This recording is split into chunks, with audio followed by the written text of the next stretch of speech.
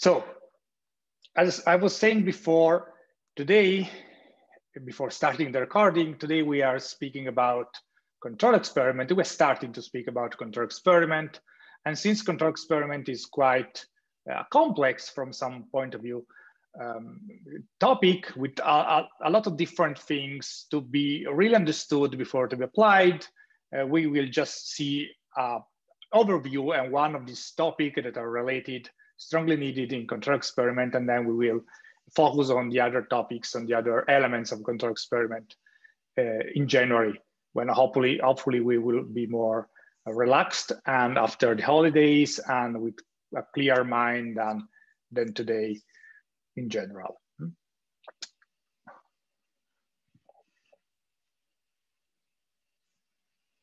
Um, so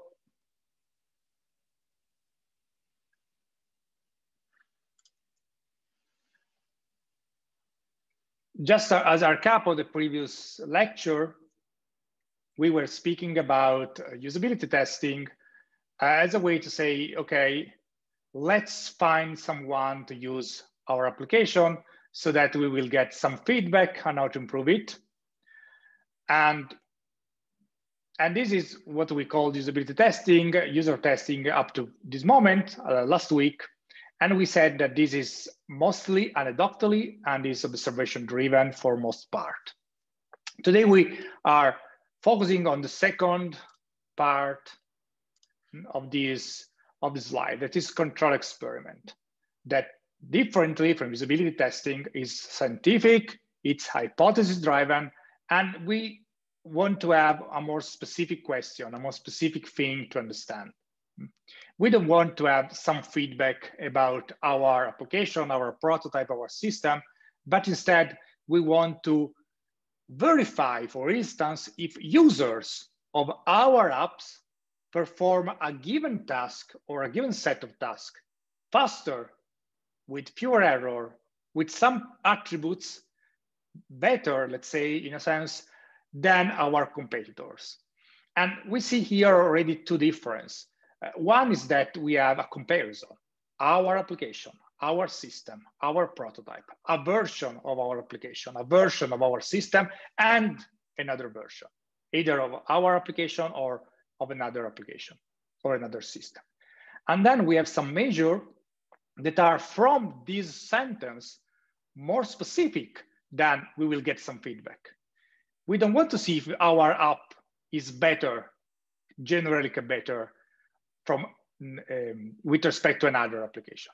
We want to know if our app perform faster, for instance, or with fewer error. Hmm? So something more specific than some feedback or better than something else. Hmm? And we will see which are the ingredients, let's say, to build and to create a control experiment to run control experiment and then to analyze the results of control experiment. As an overview, control experiments are uh, controlled, which you have as evaluator have control of specific aspects of an interactive behavior. They are typically uh, done in a lab, in a laboratory setting, not in the wild, even if some control ex experiment can happen in the wild. Um, as other characteristics, uh, they have that the evaluator or the creator of the uh, of the control experiment uh, started by choosing an hypothesis to be tested. So not, we would like, again, we would like to get some feedback, but I have this hypothesis and I would like to see if this hypothesis hold or not and to measure something to decide in a, again, scientific way, in a statistical way, oftentimes, if this hypothesis is true or not. And then we can decide what to do after. But we are not going to get a series of feedback about usability or uh, other elements of the entire application. We are to say, okay, the version, this application and this other application, which is better according to a specific definition of better that we are going to say. And my hypothesis is that my application is better. Now I'm saying application, but obviously uh, it could be uh, a version of an application. So my application in version A and my application in version B, or could be a system, could be something different, but a comparison to things. Uh, so controlled evaluation of specific aspects in which the evaluator chooses an hypothesis to be tested, most appropriately, actually is not an hypothesis to be found true, but is a null hypothesis to reject. Hmm? Because most of the statistical methods that control experiment uses, all I would say, uses this idea of null hypothesis. You have a null hypothesis that is, let's say, the, the contrary of your hypothesis, and you want to confute that hypothesis.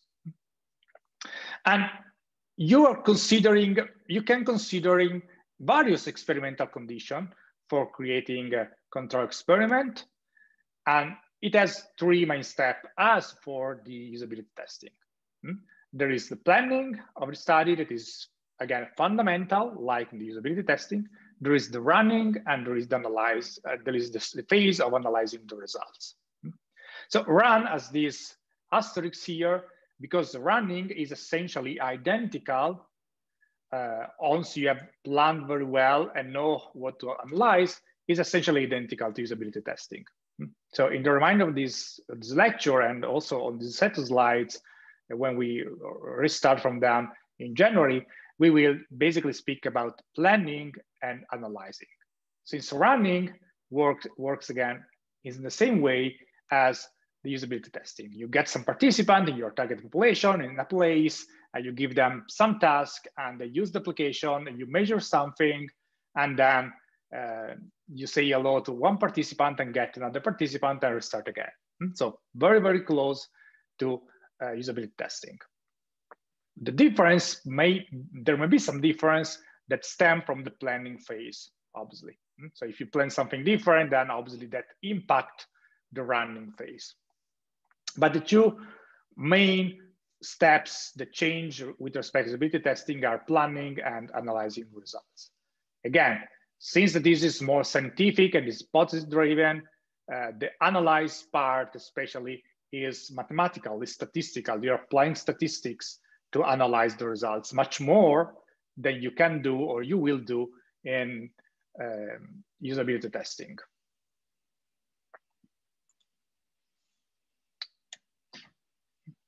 So which are the six main steps for planning a controlled experiment? So the first one is to choose what you want to experiment, what you want to study. And this choice should be narrow and testable hmm? with a narrow and testable question that you want to answer. Is my application faster in doing this than another application? It's narrow, it's testable. You, some, uh, you can have some measure to say to answer to this question. We say yes, it's faster. It's faster from of 10% faster. Is 20% faster. Is not faster at all. Um, so you have some difference. You have some thing that you can test and measure in some way, uh, in numerical way, not qualitative information. So you choose what you want to study, you choose the question, and you create the hypothesis. So my hypothesis is that my application is faster than the other in doing a series of tasks. And in defining the hypothesis, and we will see more in depth all of these, uh, you will define some variables and you will define some measures to, to have and to consider to, uh, to, to understand if the hypothesis is true or not, and to answer with this question. Again, let me stress that the question and also the hypothesis is testable, so measurable, and especially narrow. It's not, I would like to see uh, which is the difference between application A or application B, or version A version B. But I would like to see if something there is different, better, whatever, in a testable way than something in the same application in another application. Hmm? So something really narrow with respect to, again, usability testing that instead said, we would like to see the usability of the entire application. So the third plan, so choose what you want to study, choose the hypothesis, then select your participant. And this is same old, same old than in the previous uh, lectures. Your target population in an appropriate number without introducing bias, selecting well, ages, balancing, different perspective, behavior that they, or knowledge that they, expertise that they should or should not have, etc. Fourth step, decide which experimental method you want to use. We will see that essentially there are two experimental methods for control experiment. And, and then there is a third method that is the mix of the previous two. So decide which of the two or the mix you want to use. And you have to decide one of these. It's not like think aloud in usability testing that you can choose not to use or not to use, but is essentially either use experimental method one or experimental method two, or the mix of these two methods. Fifth, writing a task. Hmm? So planning, you're choosing your question, your hypothesis, participant, which experimental methods you want to have, and then you write the task that you are going to, to give the participant to prove, or better, to disprove your hypothesis. And write the task as we wrote the task for usability testing and in the past, and write the task along with the experiment procedure. So something similar to what we did with the script and with the, that, that document for usability testing. So what you're going to, to do, what you're going to measure, what happens, and so on. So this is, again, another thing that is quite similar to usability testing. And then finally, even if this is the planning phase, you have to decide, pay attention, which statistical test you're going to use to potentially analyze the results. So this is something that will be used in the analysis of the results, but it's a decision that you have to take now. Because according to the statistical test, you can answer to this question here and valid, uh, refuse or not this hypothesis in a slightly different way. So it should be better to say that given the hypothesis, the statistical test should be good enough for the hypothesis, should, should support the hypothesis, the results that we want to extract from the hypothesis. Because some statistical tests can give you some information and other cannot give you some inform those information. Either are appropriate in a specific context with specific tasks, with specific experimental methods and hypotheses, and others are not. And we are going to see briefly those things. And I have the first question for you that is easy. Um, do you like statistics or no? Or it's better to avoid statistic in your life?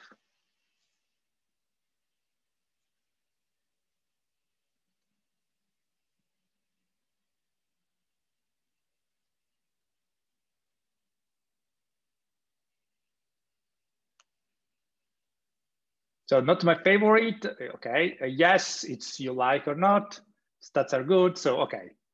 Uh, let's say that we range from yes, it's, it's fine to not my favorite, but if I have to use it, it's, it's, it's, it's fine. So yeah, we, we are not going to, we, we are not going to have a micro statistical course inside this. We are just going to, to point out the main methods that uh, statistical method that we are going to use for that in HCI is are used for um, control experiment for analyzing the results of control experiment. And we will see with a more depth one of these, that is the chi-square test hmm, that can allow us to answer, to satisfy, let's say, some of these, also to reject, some to try to reject, some to work better, to work with some of these hypotheses to give results from some of these hypotheses. When we plan, uh, when we speak about control experiment, we speak about three main things. Let's start basically three elements that constitute, mainly constitute um, a, a control experiment. let's start from the last one that is also the easiest and the one that you know better. Hmm? Participants. So participants in control experiments are also called for historical reason subjects, but they are participants, they are typically people. Uh, which are the three things to consider uh, when you have participant, when you want to recruit participant, in addition to what we already know. So we know that we have to get a representative sample of participant, our target population, in a sufficient number, and that participants are obviously vital to the success of any experiment. This apply here, apply in usability studies, apply for uh, observation, interviews, surveys, and what, and what else. What changed here is the sample size. So which is, if any, the number of participants that we can use for a control experiment? How many participants do we need to recruit for a control experiment? So we know that for usability test, uh, Nielsen suggests how many participants?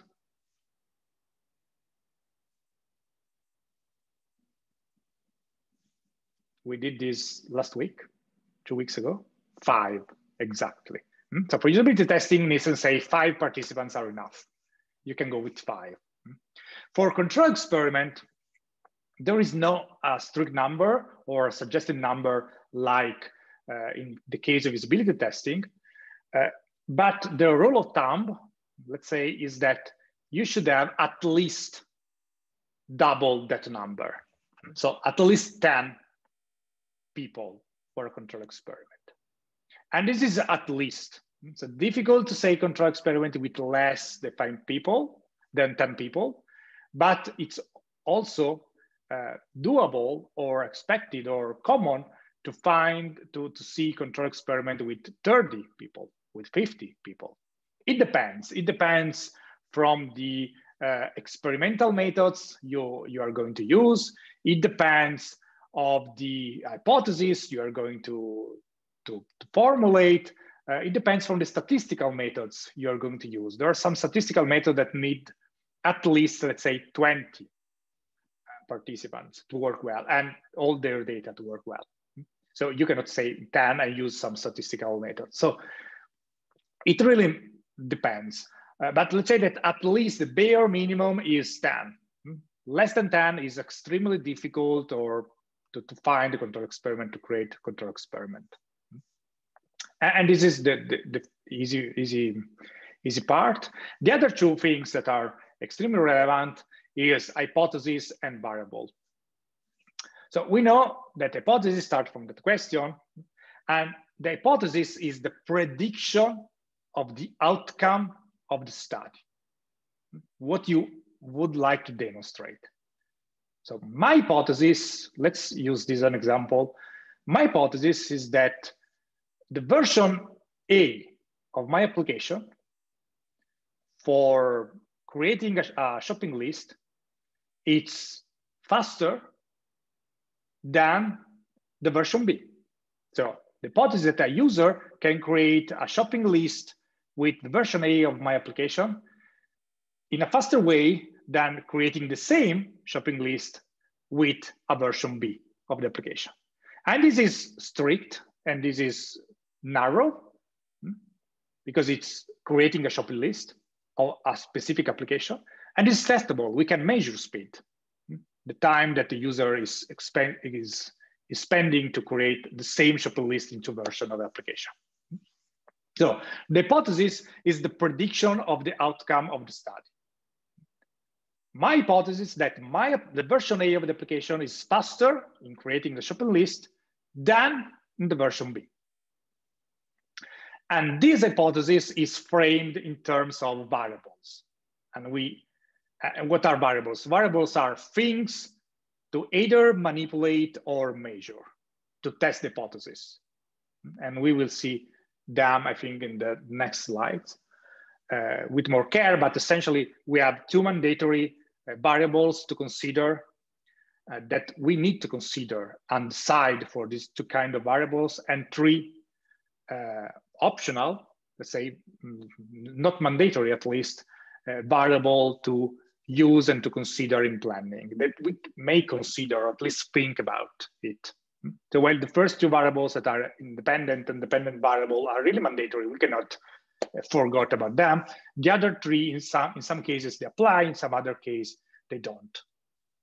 And so we can skip them, skip considering them or not. Uh, but for the first two types, the independent variable, the dependent variable, we cannot uh, forget about them. And the hypothesis, it's again the prediction framed in terms of variable, and typically it's in the form of a null hypothesis to be disproved.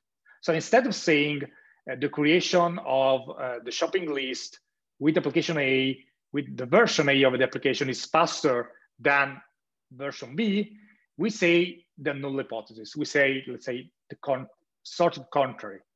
There is no difference in speed between the creation of a list with application version A and version B. So while the, the hypothesis the, that is called alternative hypothesis, we will go deep on this in January. While the alternative hypothesis, that is this prediction, is typically positive and has a specific orientation towards one of the two things that we are comparing, in this case, that the first one is faster than the second one for this specific task, the null hypothesis say that there is no difference in speed in doing that operation between the two application, the two version. And this is the null hypothesis that we need to disprove. We, we would like, at least, not we need, but we would like to disprove with our experiment. We would say that yes, it's false that there is no difference, and there is a difference, and this difference is hopefully that version A is faster than version B. So this is what we, we work with hypothesis. And to say this, we need variables and participant to test this hypothesis, to do the task, to, to measure the speed of operation in the application, in the two applications. Variables. Hmm? I, was saying before that we have two main types of variables, the independent variables and the dependent variables. Uh, and if you have any question, please write them in the chat because these are sometimes not really easy to, to grasp in all, all these things, not just variables, uh, to grasp in all their aspects. And similar, if you already know some, some of these things, I can uh, go a little bit faster, but let me know. So two main kind of variables that are mandatory to consider for control experiment. Independent variables, also called factors, and dependent variable. So the independent variables are the elements of the experiment manipulated or controlled to produce different condition for comparison. And they could be three different interface style, two different interface style, the number of menu item, the icon design in a specific application, etc. And each of these, the interface style, the number of menu, the icon design, can have different values. Hmm? We can have three interface style to compare.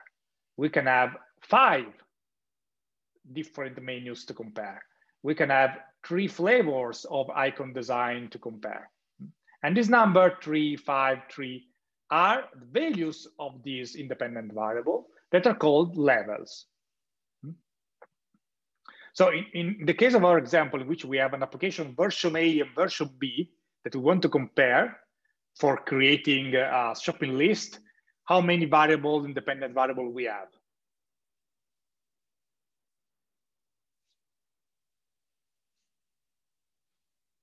One application, version A, version B to compare for the speed.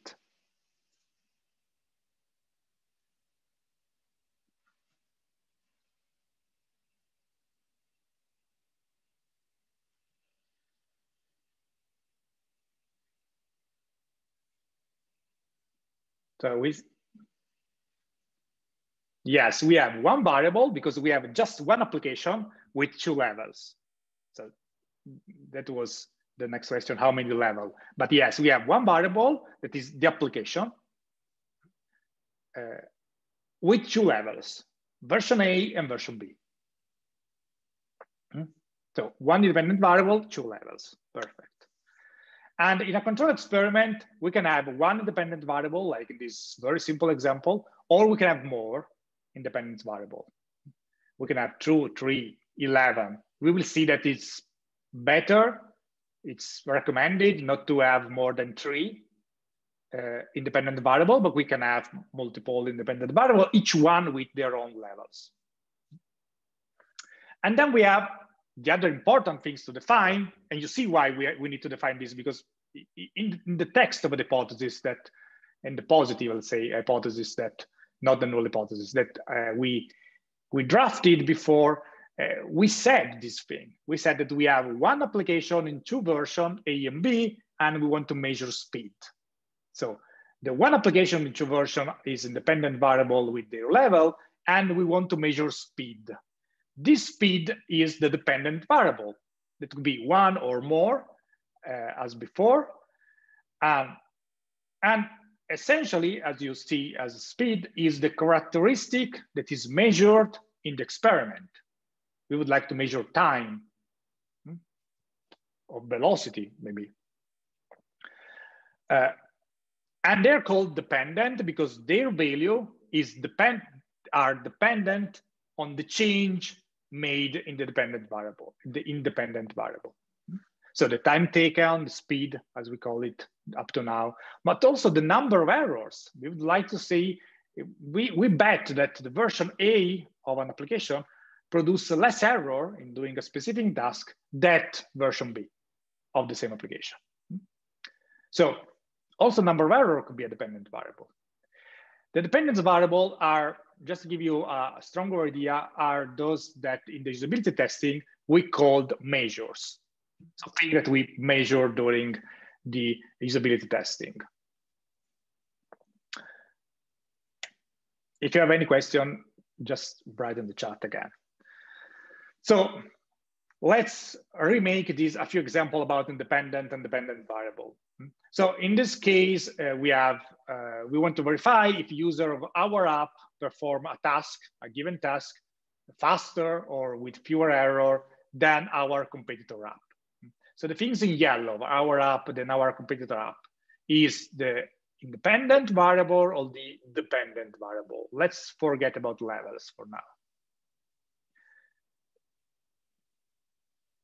Yes, so the yellow part is the independent variable, and this is obviously the dependent variable for exclusion. A slightly different and more complicated example um, that we are going to use in the remainder of the slides too. Uh, we have this hypothesis, hmm, this alternate hypothesis, the um, positive, let's say, hypothesis.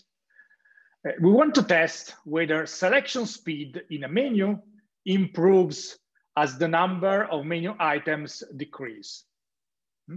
So just to, to say we have, uh, let's say, uh, let me take a pen. So maybe we have, hmm? so we have a menu in an application. We have an entire application, but we don't care in reality. We have a menu with here three items. Hmm? So voice number one, voice number two, and voice number three. And you can click on this menu. This is, I don't know, file.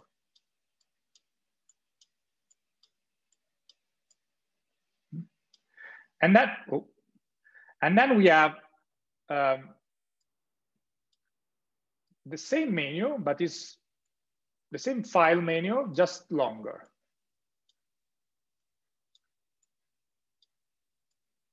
Hmm? One, two, three, four, five. And then we can have, let's say, another one. And then we can stop here with drawing with a mouse. Uh, that is maybe seven.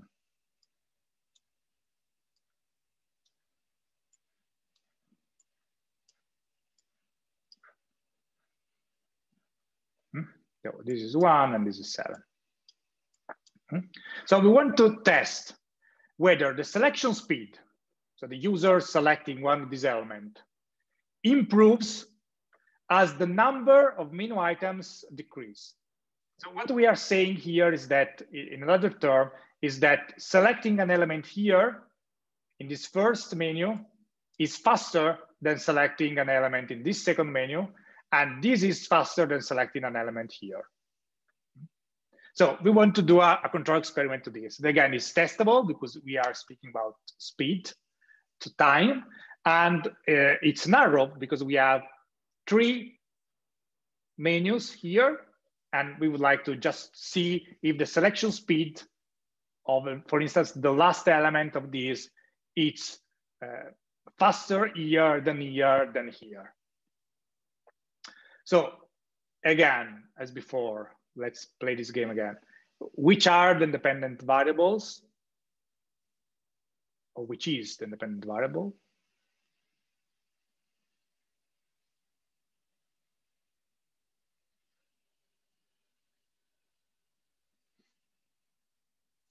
Okay, so the dependent variable, do you agree what, what was written in the chat? In the chat say the independent variable menus, level different number of items, dependent variable selection speed. Yes. Uh, so it actually it's, correct. Mm? So the dependent variable is the menu because we have just menu. The level, so here we can write menu. Uh, each independent variable, so each menu, in this case, one just one, has three level. Let's, it's not written in the text actually, but let's stick with this example as three level because we have three independent variable, uh, three, the picture here, I, I depicted three menu, but it could be also five. Is not, I agree that it's not written in the text, but let's use this as an example. Uh, this is as correctly written in the chat. This is the number of menu item of, uh, of items in the menus, so alternatives, three, and the dependent variable is the selection speed. Uh, so in other term, uh, the independent variable is the number of menu item. If we consider menu item with three, five, and seven level, um, we can have three levels. Hmm? This, the three menus depicted before. And the dependent variable in this case, whether selection speed, is the speed of the menu item selection in second. Hopefully in seconds, not in minutes, because otherwise we will have probably other kind of problem. Um, we have a question in the chat. Uh, the, the dependent variable can be the number of selection error. Not in this case, because in this case, we, we are interested in the selection speed. But yes, we could have a different hypothesis. Let's say we want to test whether uh, the number of errors in selection in a menu improves as the number of menu item decrease. Hmm? This is a totally different uh, hypothesis that is a totally different experiment. You have to conduct a second experiment or uh, you can, yeah, typically you have to conduct a second experiment uh, or you can increase a bit that this concept. So add here that you are measuring the speed and also the errors. But you have to formulate the hypothesis in a way that is consistent and measurable. Uh, adding to this, we need to add the experimental condition. So the experimental condition typically are the tasks that are executing during the experiment. Uh, because adding to this, because each level of an independent variable require one experimental condition to test. So in our case, we have three menus with three, five, and seven items. We have three experimental conditions, Uh, at least. So we can have a task that say, select the last item of each of the menu with three elements and you're measuring the speed of doing the operation. Now select the same task, select the last item in the five item menu and back select and you're measuring time. And, then, and again, the same task, select the last element of this seven item menu, and you are going to select the last. And this is a task, you need at least three experimental conditions. Hmm? Uh, and maybe you have may have different tasks, but in the end you have three experimental conditions because you have just three menu in three this three version. If you have more than one independent variable, each one with its own level, the experimental condition should obviously account for all the combination, the combination of levels. Hmm? So in this case, we have three levels in one independent variables. We have just three experimental condition because it's, it's three minus, but it's, it's three, three, three values, three, three levels. Uh, if we have multiple independent variable with multiple levels, maybe, or maybe not, uh, we will have to consider this. So let's take another example. Actually, the same example as before. We want to test whether selection speed as before, so the dependent variable is always the same, we are not caring or thinking about it. Uh, in a menu, improve as the number of menu item decrease, same as before, and we're going to use labels that are textual or icon based. Hmm? So in the menu just appear the name of the item or also the icon.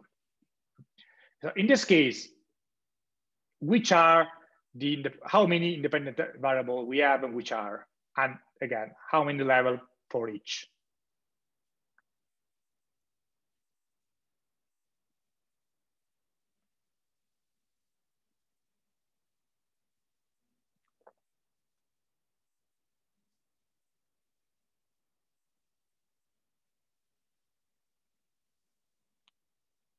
Independent variable, a type of row, a number of row.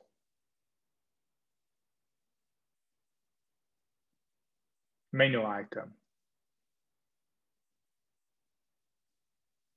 Ah, I see. So one independent variable is as before the number of menu item, and let, mm, and the other is um, the type, mm, text or icon.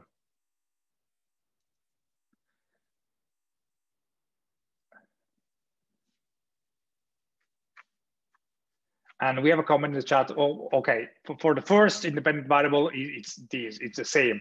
The independent variable is the number of menu item, and let's say three levels: one for the three, one for the five, and one of the seven items menu.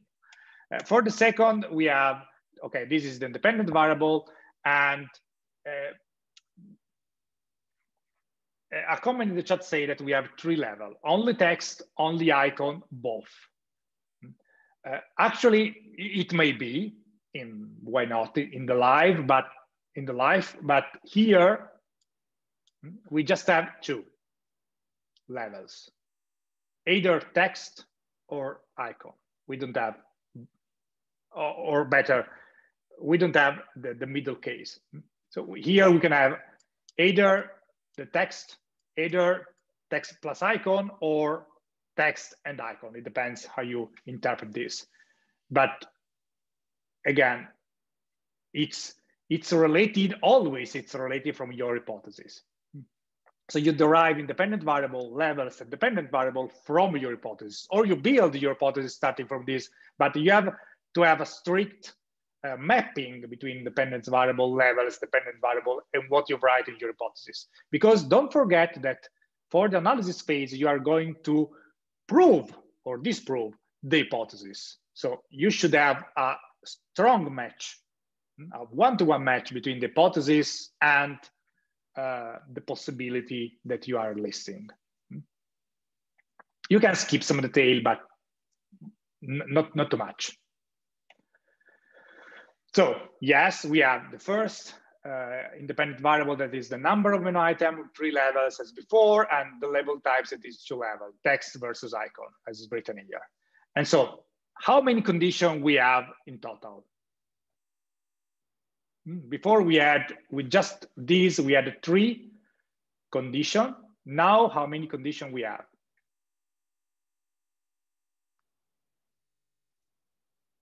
Do you agree with, with six? Without looking at the next slides, obviously.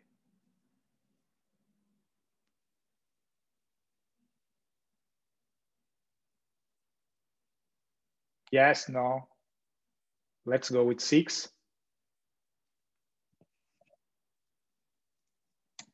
And yes, that's six because, because you have uh, three uh, condition in the first case, two condition in the second case. So you have in total six condition. Um, again, three levels for the first independent variable and second two levels for the second independent variable. And you typically uh, depict these in this way.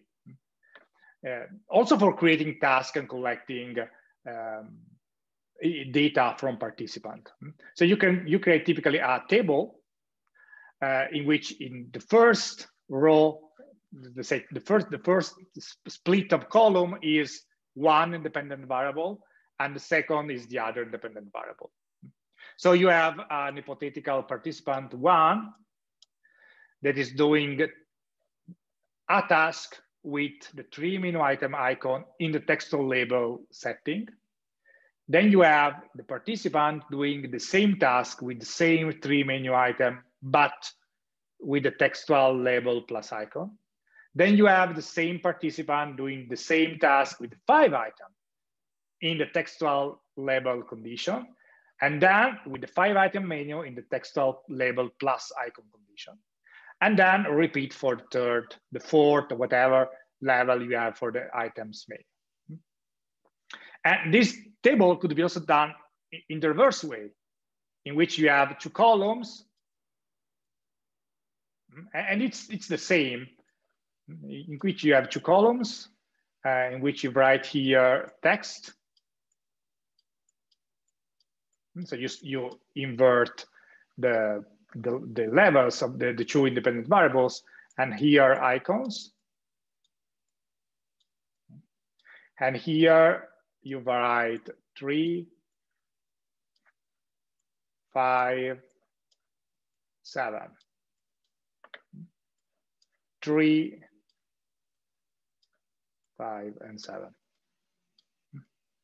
So you can either write this table in this way or in this way. And doesn't change a lot because in the end you have six conditions that the participant have to uh, explore.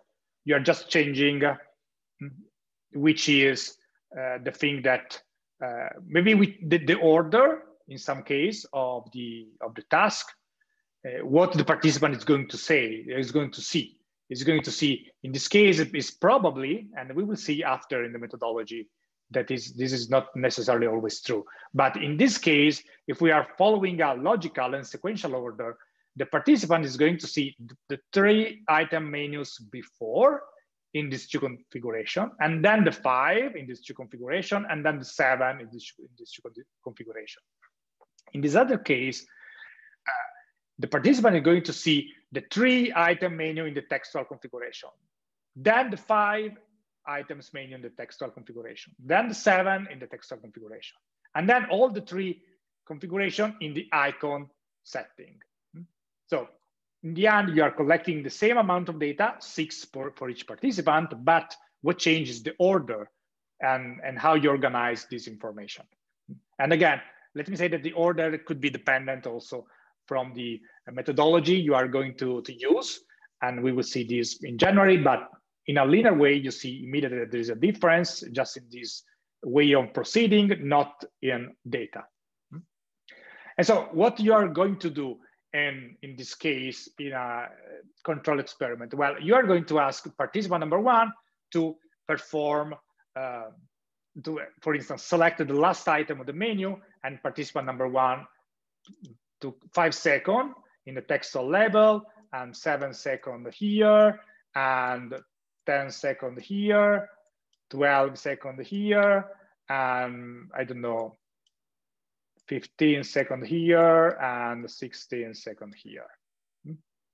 And then you may have participant number two, participant number three, etc. Up to participant number 12, 20, whatever. And so you're collecting this information and you are you know that all these numbers at a certain point will be analyzed statistically and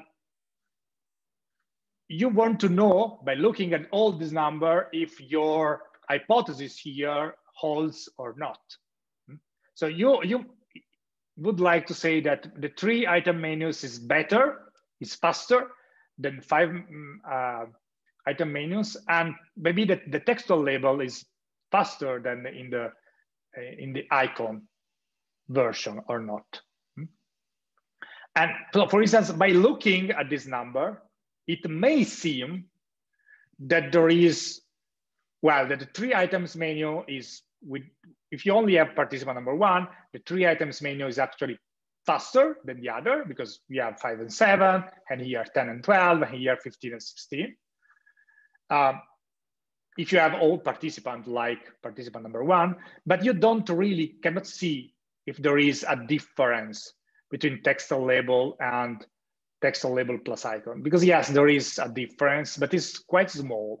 So by the difference, it could be, it may seem that the textual label are have a little bit of advantage with respect to this. Hmm? But you cannot be sure, let's say, if this are real effects or not. And it may be dependent from the participant or the task or whatever. And so you need something better, let's say something more specific to analyze these and say, okay, yes, the three item minus is better than the five and, and the seven from this for what concerns select, selection speed, uh, but you have no difference between using text or icons. Or yes, there is a difference and this is way better to use text or not. Again, by looking at participant number one as this number that just invented here, it seems a slightly better difference, a slightly better for textual level. But maybe then you have participant number two and participant number two is made in this way.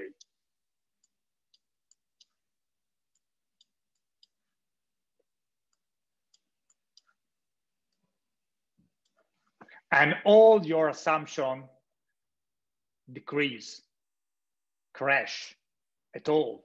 Hmm? Because yes, for participant number one, there is a clear, seems to be a clear evidence that the three items menu is better and slightly better in the textual label. But then for participant number two, you cannot say because essentially it, it took the same speed, the same time to do everything, except here in the textual label plus icon for the seven menu item. So here, if we just look at participant number two, we can say that there is a slightly better preference for the seven item menu in this configuration that is totally different from the first one. So we need to get more data and to get a better picture of how this thing work. And this is the goal again of control experiment uh, that is more scientific again and employ statistic to get to understand if there is a difference or not. Maybe there is no difference, and it's fine, and we can say that the, the, the hypothesis is, is not confirmed and there's no change, no difference for our population, the population that we recruit and our task in performing this, this computation. So I said before that we can have one or more dependent variable. Uh, and actually we have, we could have, uh, like in the example, multiple independent variable. And we can ask ourselves if there is a upper limit. Uh, so typically, a good experiment design is one that limits the number of independent variable to one or two most of the uh, control experiment have one or two independent variable. In some cases, they could have three independent variable, but not uh, more than three. Uh, that's a different reason. One is, let's say, on the human side, that is uh, that you, if you have a lot of condition, a lot of a lot of independent variable, and you have probably a lot of condition because each independent variable as a level and you have something that to measure for, you have an independent variable that you measure for each of them. And then you have to, to of recruit a, a proper number of participants and maybe also think, Is the participant that is uh, looking at the three item menus uh, becoming faster in the seven item menus because he, he already or she already uh, test the same system for time before arriving here. So it's learning. So in this case of the menu, it's quite easy as an example. It's quite stupid as an example, but it's learning the user in using the application faster because you have to do maybe three tasks here, three tasks here, three tasks here, three tasks here. So when it comes here, it, uh, it did uh, quite a lot of tasks and in the same condition. So the text and then the, the icon, then the text again, then the icon. So here, the participant know that he's going to see a text because it happens already two times and that you have to do the same three tasks because you already do the task in all these four times. So there is some learning, there is, uh, and this is just two second, two independent variable. So let's imagine with more dependent variable, each one with their own level. This grows a lot. And then you have also to recruit maybe more people and to consider this. So there is quite a complexity on, on the human side, but there is also complexity, let's say, on the statistical side. Hmm? Because if we look at the effects among variable, we know that an experiment with one independent variable includes a main effect on the dependent variable. That is how the dependent variable affects the uh, results of an independent. If we have just one dependent variable, let's imagine with one level for, for now as an example, we just have a matching. The number associated to a specific independent variable, it's easy. If we have two independent variable, each of them with one level for simplicity, we have two main effects and one effects of interaction. That is, each, each uh, we have an effect for each independent variable?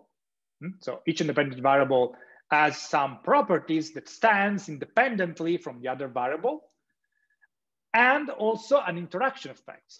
Hmm? So how one independent variable, the, the, the, data, the data, the task that we are going to prove one independent variable impacted the other.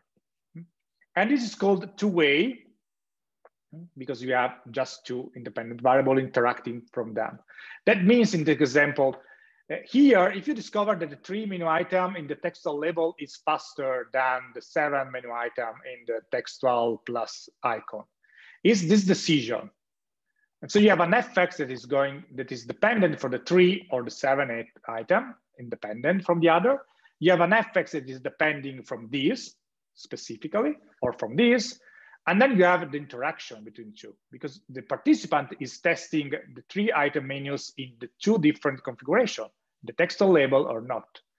And here, the participant is testing the menu item within a different configuration, the seven uh, item in other two configuration. So here it's better, faster here. And the merit of this faster is more related to the three items, is more related to the textual label. And this is the interaction effects in a way. How these two interact together and which is the contribution of, of, it, of the two of them. Uh, if you have a three independence variable with one level each, you have three main effects and four interaction effects. So seven effects in total. That is quite a lot already. And so you have three two-way and a single three-way. This is the three-way, and you have two four interaction effects between uh, the, the combination of variables. Hmm? So independence variable one with two, independence variable one with three, and two with three. And this is, uh, from this point on, interaction effects here with three independence variables that are three-way in this way or higher are difficult to interpret from a statistical point of view because it, it makes things quite a lot complex to say, okay, which is the, so if you have two, interact, two interaction effects, you can more or less say, okay, it's more related to this or more related to the other. If you have three, it, it starts to be complex. If you have four independence variable, you have 14 different effects instead of seven. So you see how faster this grow. And so you come up with too many effects, too many variable, and much more difficulty to interpret the results from a statistical point of view. And also from saying, yes, we are disproving the null hypothesis we, we are reaching our goal or we don't know.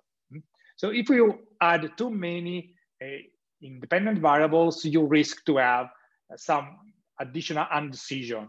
While you, if you keep maybe two experiments which is to set to a smaller set of independent variable, you risk to have stronger and more uh, clear, clearer results than putting all together. So all of this to say, a good experiment design is the one that limits the number of independent variable to one or two, maximum three. Because in all of these, you have to consider levels, you have to consider methodological design, you consider statistics, so it, it becomes very, very complex, uh, very, very easily and quicker.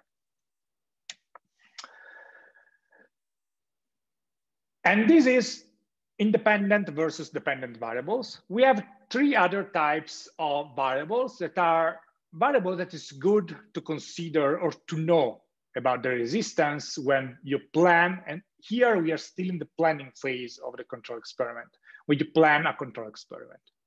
And these three variables are control, random, and confounding. So the control variable or the control variables are variables that may influence a dependent variable. But they are not under investigation. You don't care. Like in the example before, uh, in the chat before, when you, you said, um, we can have also the selection error. Yes, we can, but we don't care. Uh, or other variables that could be, again, influence stronger a dependent variable. Again, not under investigation. And we need to control or at least think about them. So for instance, in our case, in section speed, the mouse cursor speed uh, strongly influence the dependent variable. Because if we keep the mouse, the mouse cursor speed constant between all the participant or the condition, uh, we have a failure evaluation. But if we start to change, or we are doing the evaluation on different computer with unknown mouse cursor speed, we don't know, which is the, we are introducing also this as a factor that impact our measurement of time, hmm, potentially. And we are not aware of that. We are not controlling them if you are if you are changing them, and we are not measuring them and this could be problematic. So in our example, for instance, mouse cursor speed could be a control variable, something that we are not interested in, something that we are not measuring, but something that we say, okay, we are going to use this computer to do all the experimental. We, we are going to use this mouse and the mouse cursor speed is set as the default value and for the entire experiment should be set at that value. We don't care about the value. We are not interested in understanding which is the impact of changing value. We want to control that the condition during the experiment doesn't change. The settings during the experiment doesn't change to have a fair experiment. And in other contexts could be also the display size, because maybe it may affect the amount of information you see on screen. And so if you have something for which you need to scroll down and you have a smaller screen for some experiment and a bigger screen with other experiment, you are changing the condition of what you are measuring. Hmm? Uh, the smartphone type, if you are testing a mobile application on Android, on iOS, maybe also the operating system may have an impact how things are depicted, presented, uh, which function do you have uh, under control you can use or you cannot. So these are control variable. Again, variable that we don't care, we don't want to measure. So they are not under investigation. And we essentially, we don't really care, but they may influence a dependent variable. So we want to at least take a look at them and say, okay, we are measuring speed with mouse and we are not going to move the mouse cursor speed for the entire experiment. And we're going to use the same computer, or if you need to use multiple computer, we are setting the mouse cursor speed the same in our computers, because this could affect the, the data that we are collecting. And therefore the results of the, of the, of the experiment and uh, our analysis could, could have some bias due to this. Uh, then you can have some random variable. Hmm? Uh, these are, let's say, the, the, face of the same coin.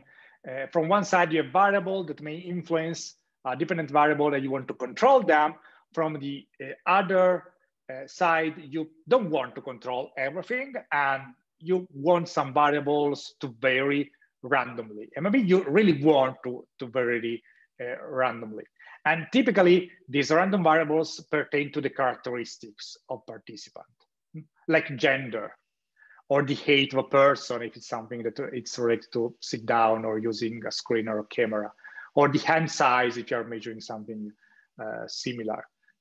So you, you don't want to have all males during an experiment. You want to control exactly the number of people, but you want to have some random. You may want to have some people different genders to maybe uh, have a full picture of different ages or different height. So you want a, a bit of ran, random uh, variables or random uh, things in your experiment.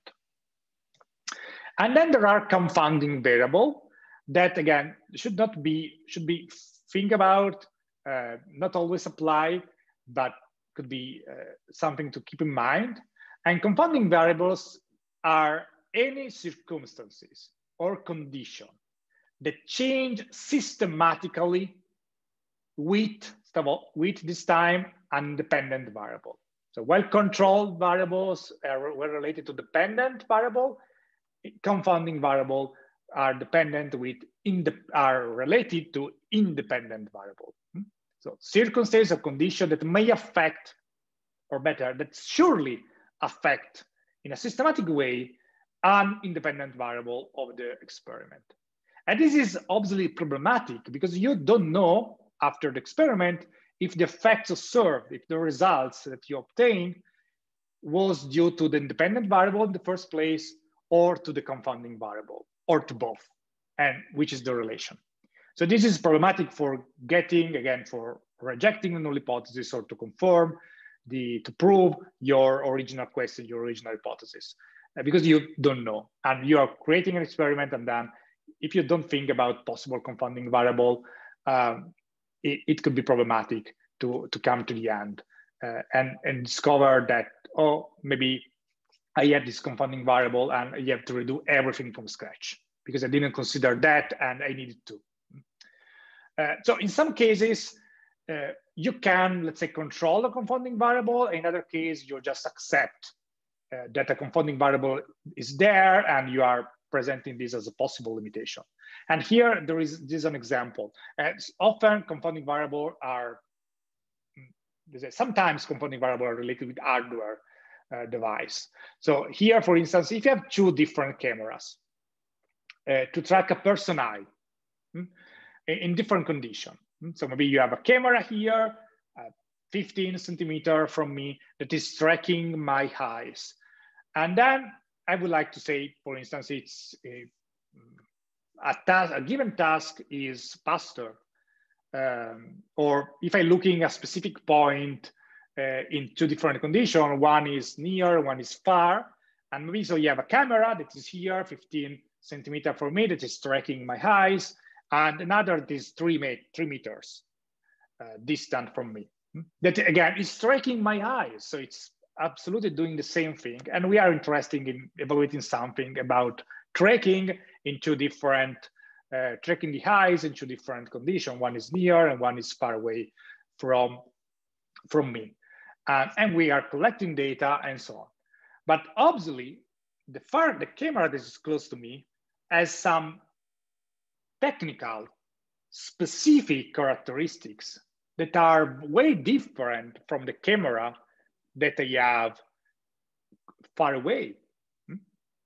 Maybe the one that is closer to me, maybe the, the two cameras have the same resolution, hmm, for instance. Uh, and this could be problematic because the camera that is close to my eye could have a better track on my eyes because it's closer. And the camera that is far away uh, could have a different precision in tracking my eyes. And so results could not be uh, appropriate, accurate enough. And so also this same characteristic in the camera could be problematic for the experiment because change the independent variable. And maybe I should have a camera here that track with a specific precision and a camera far away that tracks with the same precision. So sometimes you can correct confounding variables, maybe again, buying the, the most appropriate camera. In other case, you cannot. Uh, and, and you are trying to, to put them in the best, let's say, light possible and to consider them at their best. And then in other cases, you just say, okay, this is a limitation. We cannot control these. We, we, can, we don't have a way to, to have the same setting in these two, in two conditions. And this could be a confounding variable that may or may not impact significantly the experiment.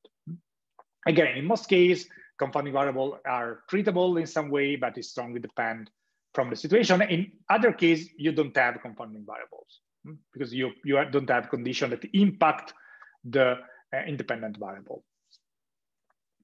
Hmm. Any question up to this point?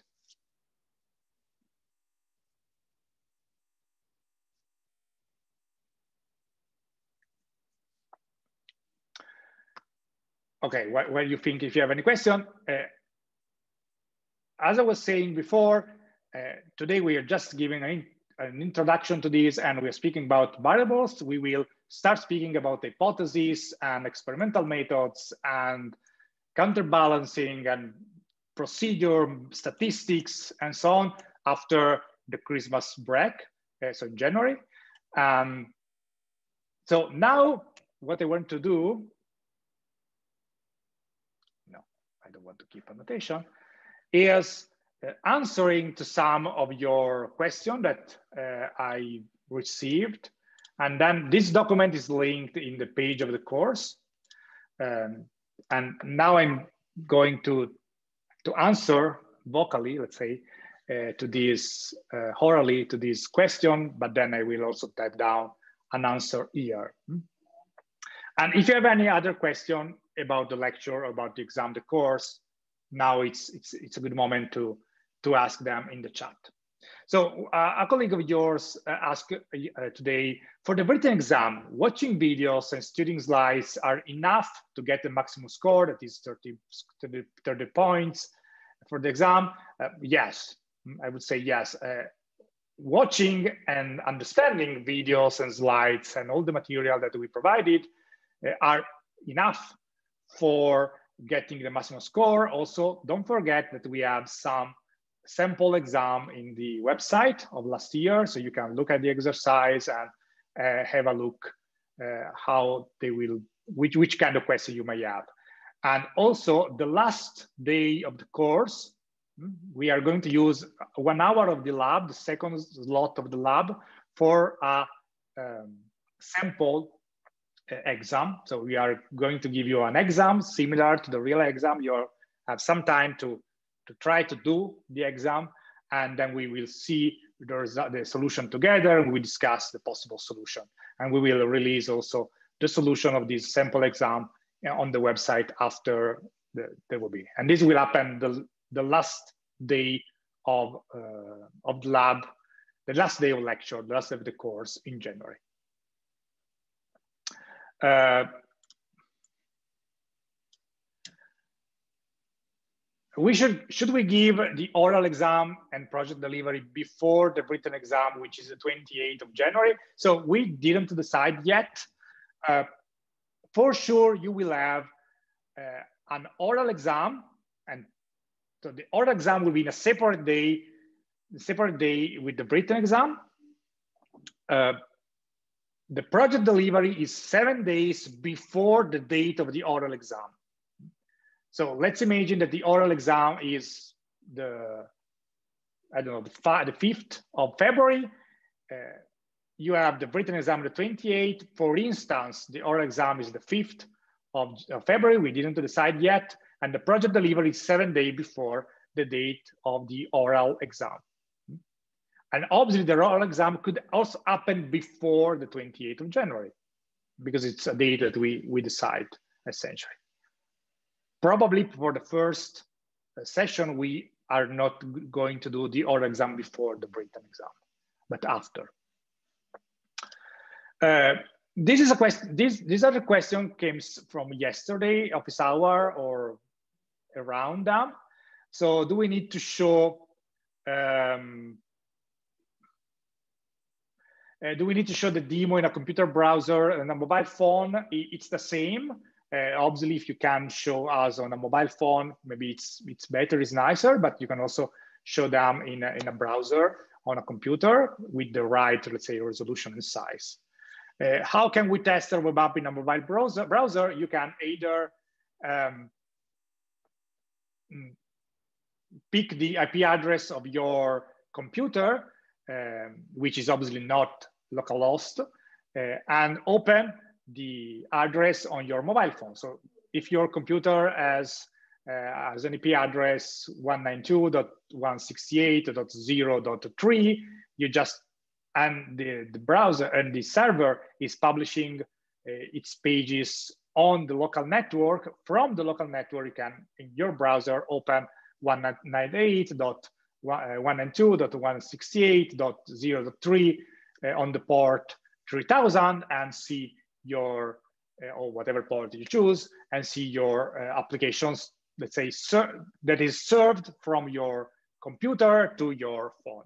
Or you can use ngrok, so you can install ngrok and create a tunnel between your server and your computer and a public address on the internet so that, so that everybody that has some that address while your server is still running can open your website, your web application on their smartphone not only you in your local network, but also people uh, that are away from your um, home.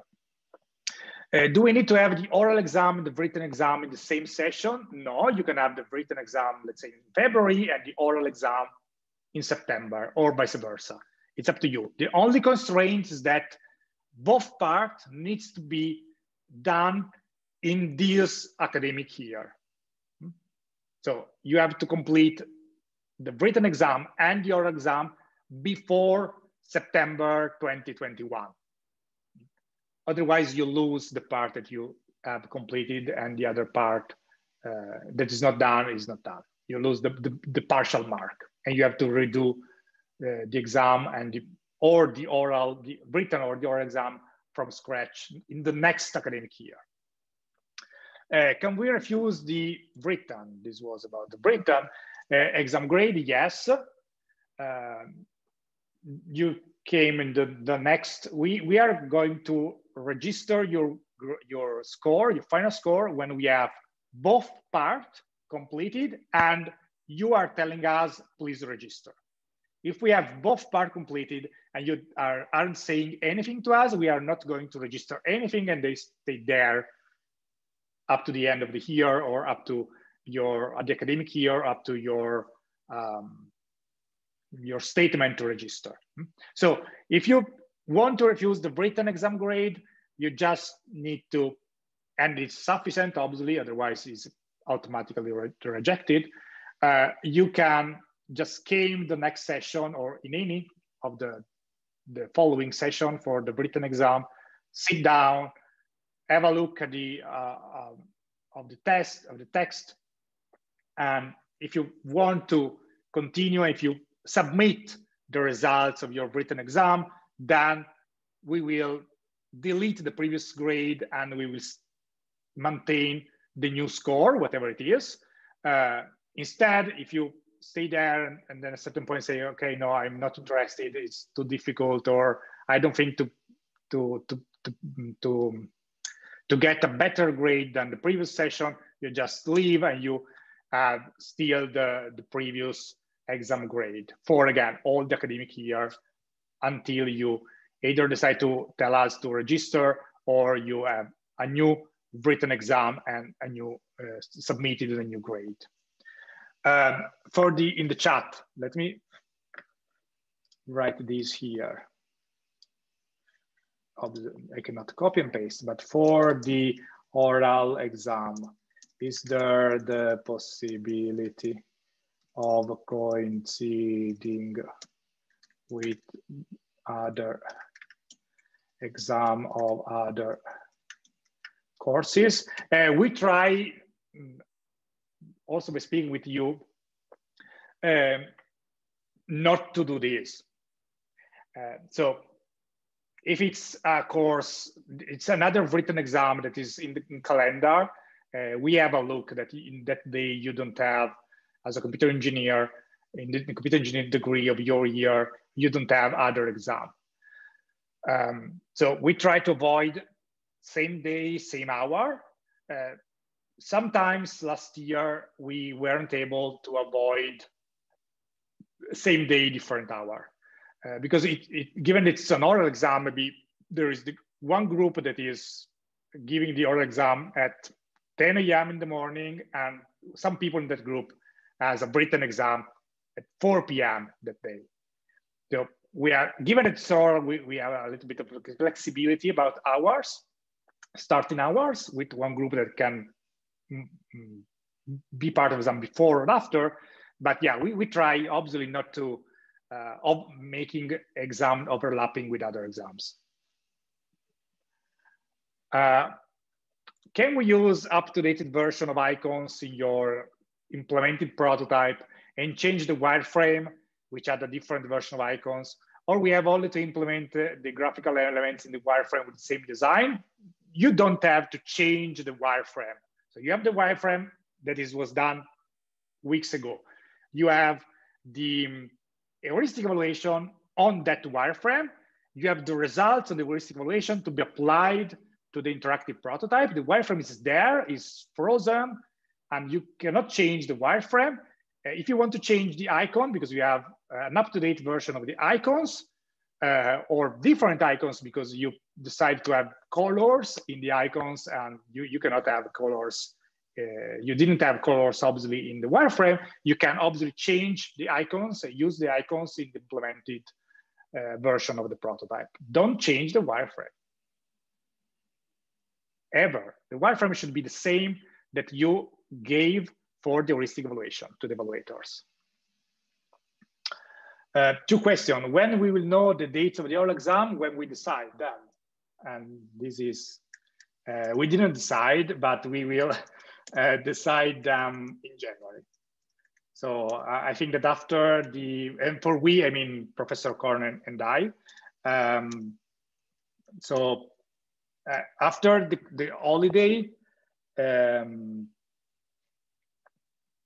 after the holidays, we will decide, uh, so uh, back in January in, in Turin, let's say at Poly, we will decide uh, the date of the oral exam and we will ask you if it's a good date and then we will ask the Politecnico to put um, that date on the Portale della Didattica so that you can enroll to the oral exam.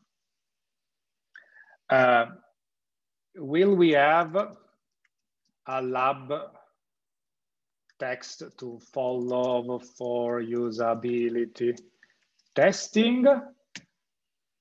yes, uh, you will have a text lab to follow for the, the first, first lab of the new year and also a template for milestone number four, as for any other milestones.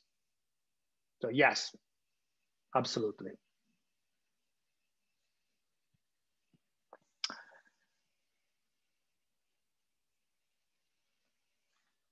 Okay, any other question?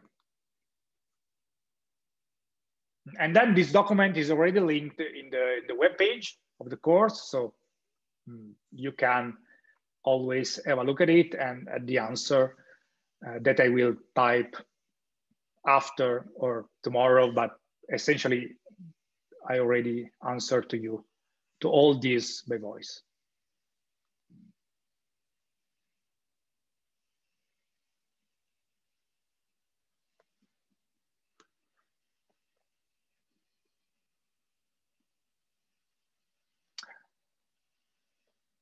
Well, if you don't have any other question, I will stop the recording, stop the sharing, and I will wish you happy holidays, Merry Christmas, and we will see uh, next year uh, remotely, but we will see next year.